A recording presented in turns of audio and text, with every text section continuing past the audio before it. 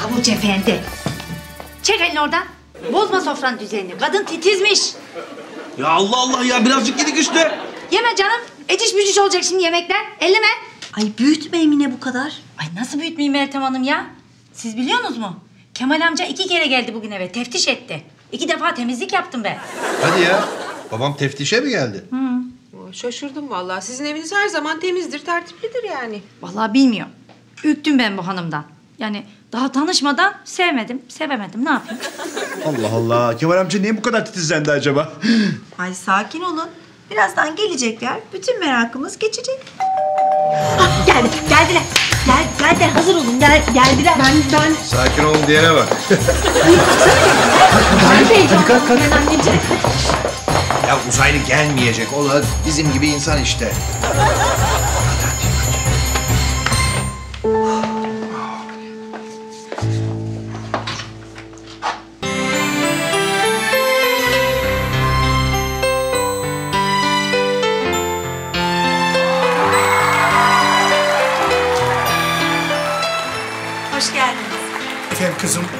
Meltem, Memnun oldum. Ben de memnun oldum. yardımcısı Emine. E, torunum Emre. Çok sevindim.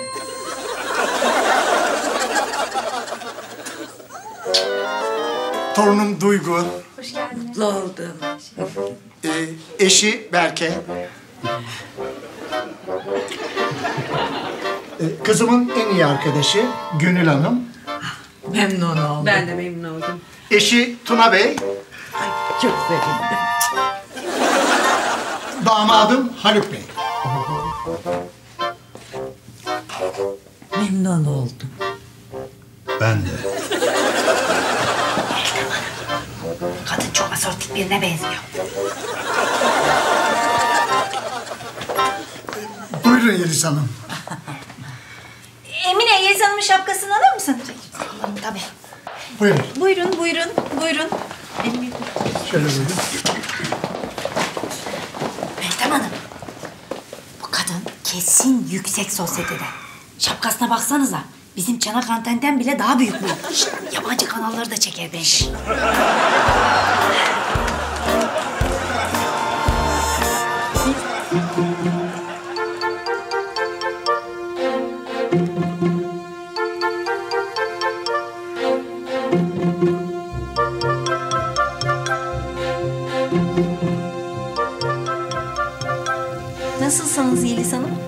Teşekkür ederim iyiyim. Siz nasılsınız?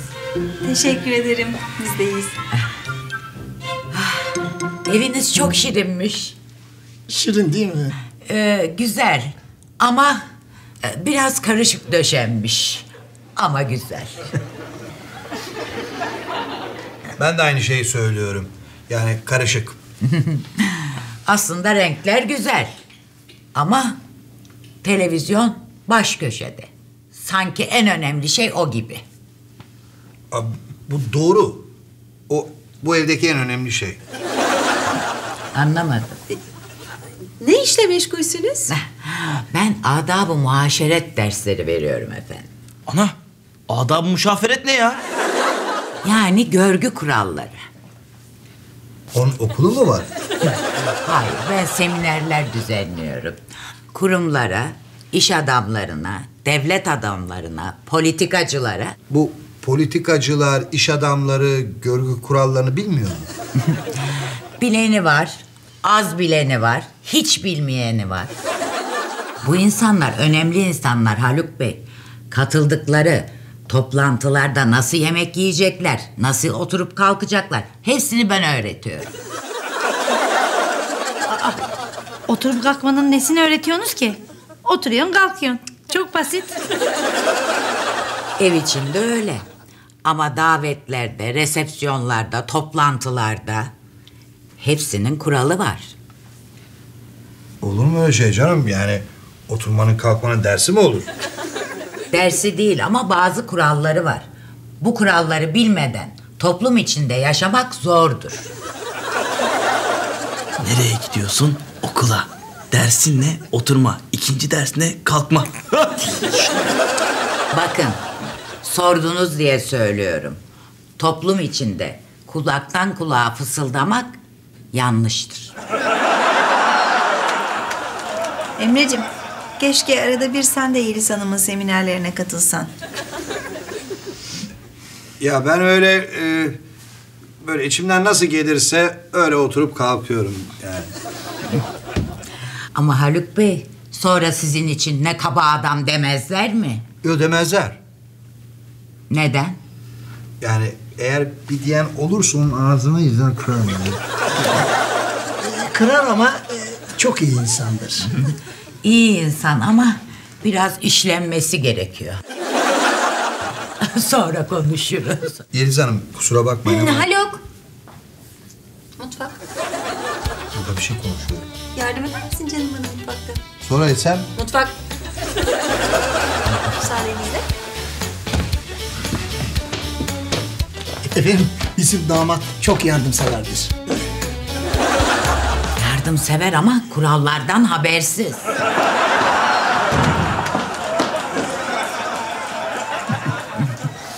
Şey yani aslına bakarsanız Yeliz Hanım bence bu görgü kurallarını okullarda ders olarak okutmaları lazım. Müfredata girmesi lazım.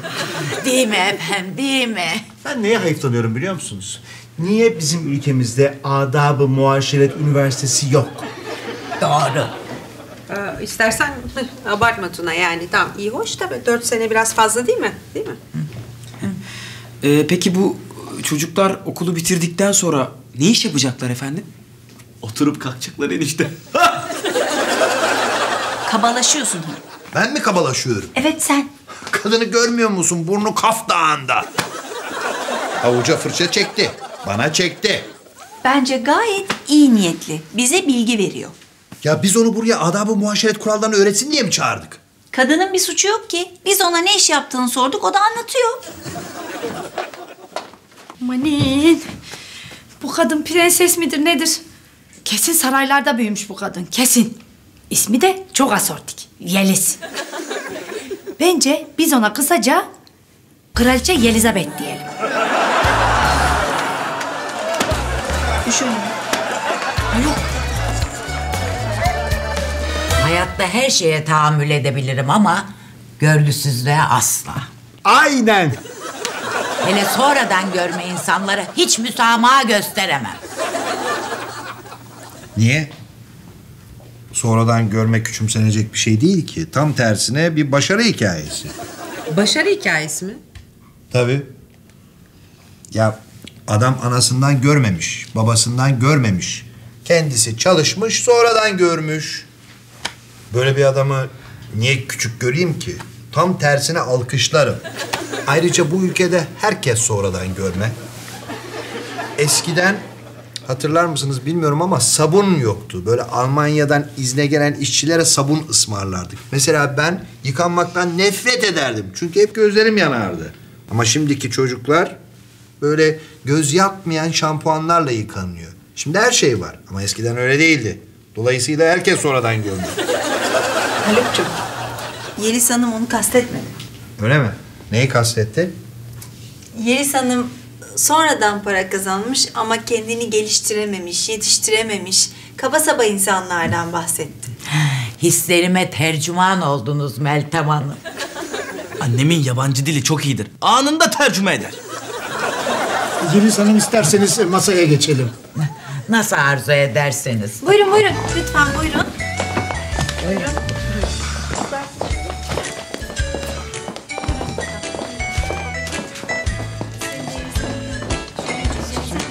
için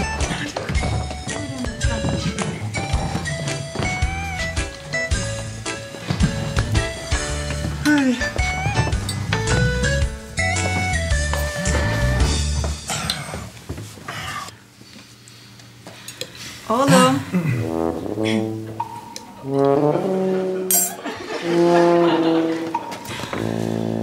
Masayı kim hazırladı? Ben hazırladım. Nasıl olmuş? Ah, fevkalade efendim, fevkalade. Ama bir iki ufak küçük yanlış var. Yanlış derken? E, herkese birer çatal bıçak var. Herkesin birer tane ağzı var da ondan birer tane koydum. Yelizabeth Yeliz Hanım. Birer ağzı var ama yemek birden fazla. Her yemeğin çatalı bıçağı ayrı olur. Ana yemeğin çatalı bıçağı başka, salatanınki ayrı. Ama ziyanı yok canım, ziyanı yok. Ne olacak? Biz bizeyiz tabii. Olur böyle şeyler. Ee, yani bu böyle aile yemeği olduğu için çok önemsememiştir Emine. Biz bize yani. tabii canım biz bize. Tabii canım aile yemeği. Yemekte Prenses Diana'yı ağırlayacaksın deselerdi 250 parça yemek takımını böyle yayardım masaya.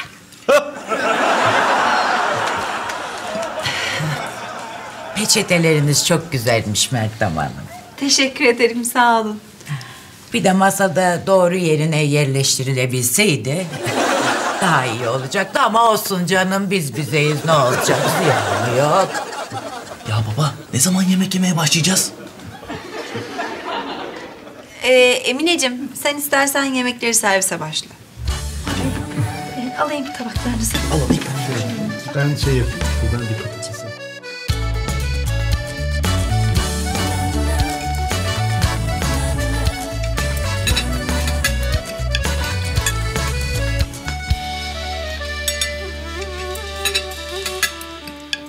Yeliz Hanım nasıl? Yemeği beğendiniz mi?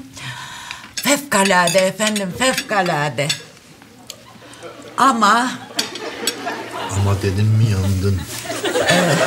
keşke kırmızı etin sosu da uygun olsaydı. Yeliz Hanım kesinlikle katılıyorum size. Bence sos olmamış. Tuna! Yani sus. Soslar yemeğin lezzetini arttıran önemli unsurlardır. Ama asla yemeğin tadının önüne geçmemelidirler. Onun için de kırmızı etle başka sos, beyaz etle başka sos yapın. Yemeğin tadını mı kaçırmış yani? Ziyanı yok canım, ziyanı yok. Bizim tadımız kaçmasın değil mi? Efendim önemli olan kalpler bir olsun. Vallahi ben beğendim. Sosu da güzel. Ben de çok beğendim. Bence de güzel olmuş. Yeliz Hanım ayıptır sorması. Yani siz daha iyi bilirsiniz diye şey yapıyorum. Kırmızı etli beyaz şarap değil mi?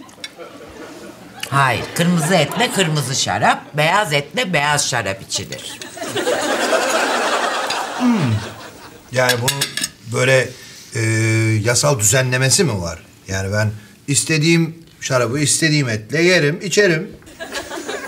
Evet. Yani ikisi de kafa yapıyor değil mi? Ee, yani sarhoş olunuyor ikisiyle de. Evet. Tabii canım. Yani çevirmeye girdiğinde polis sana ne yedin yanında da ne içtin diye mi soruyor? Eğer alkollüysen çat diye cezayı yapıştırıyor. Efendim tabii ki insan istediği etle istediği şeyi içebilir. Ama şık olmaz. Sofra adabına uymaz. Babacığım bir mutfağa gidelim mi? Gidelim kızım. Müsaadenizle.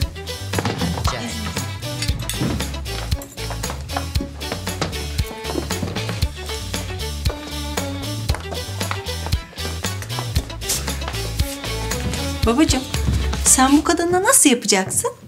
Ne demek nasıl yapacaksın? Ay yani yanlış anlama tabii biz de çok tanımıyoruz ama yani bu kadın biraz e, şey Ne? e, e, Asortik. Adı üstünde. Kraliçe Yelizabeth. Aşırı yüksek sosyeteden bu kadın Kemal amca. yani senin benim hiç takılmadığımız şeylere aşırı titizlik gösteriyor. Yani ben sizin bu kadınla yapabileceğinizi hiç zannetmiyorum Kemal amca. Bir kere kafasına taktığı o çanak anten yüzünden siz yan yana bile yürüyemezsiniz. Ya aranızda böyle mesafe olması lazım. Yani babacığım Yeliz Hanım protokole biraz fazla önem veriyor. Biraz kuralcı. Sen öyle biri değilsin de. Ya saçmalamayın çocuklar. Adap usul ben de bilirim. Ben müsteşarken bütün bunların dersini aldım. Devlet adamıyım ben. Adap, usul, adab-ı muaşeret bunların hepsini gayet iyi bilirim. Hem siz hiç merak etmeyin. Biz kendileriyle gayet iyi anlaşıyoruz.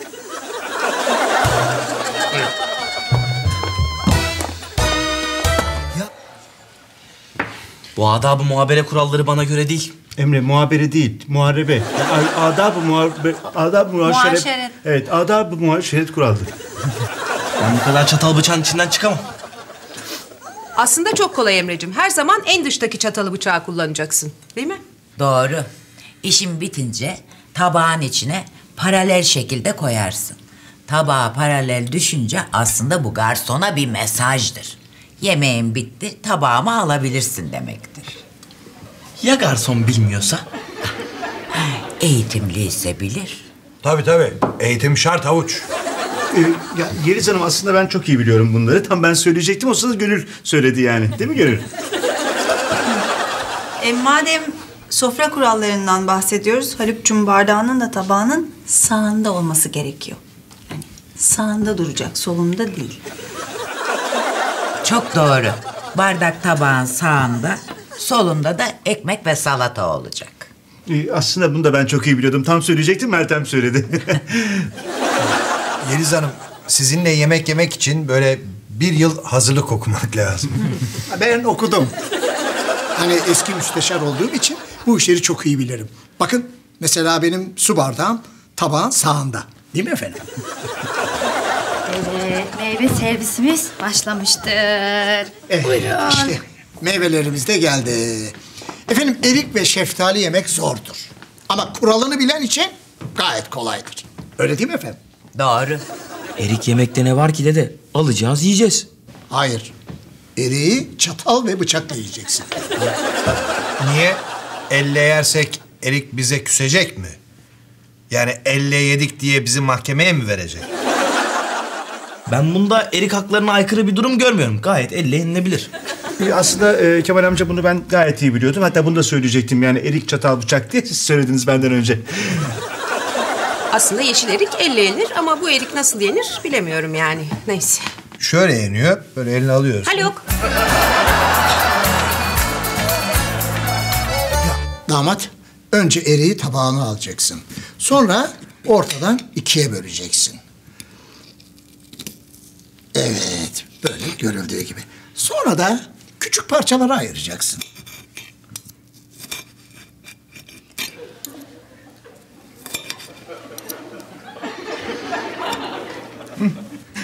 Çok kolay. Kemal amca gösterdi. Eriği alıyorsun. Al... Ne yapıyorsun? Şey, e, affedersiniz. Ay ne yapıyorsun? Şey oraya affedersin. Çok çok özür dilerim. Ya bırakın bu saçma sapan şeyleri. Ben size şimdi erik nasıl yenir göstereceğim. Eriği böyle alıyorsunuz. Gördüğünüz gibi sonra böyle yiyorsunuz. Hmm, kütür kütür.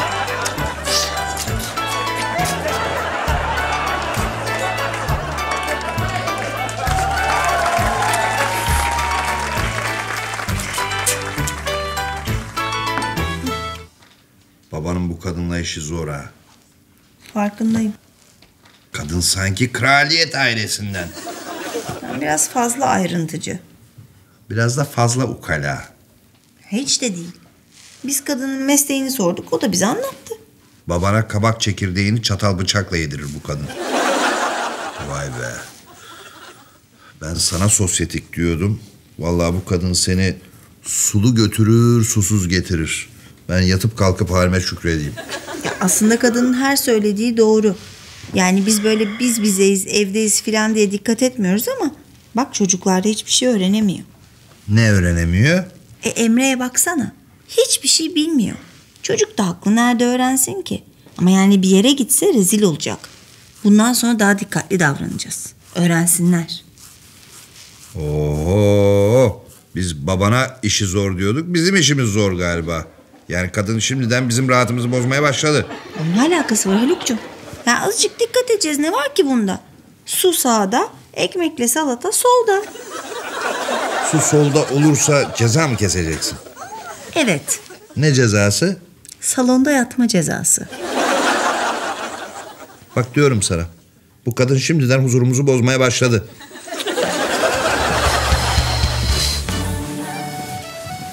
E o şapka neydi öyle bu kadar? Babamla yakın mesafede yürüyemezler. Şemsiye gibi. Yağmur yağsa baban da altına girer.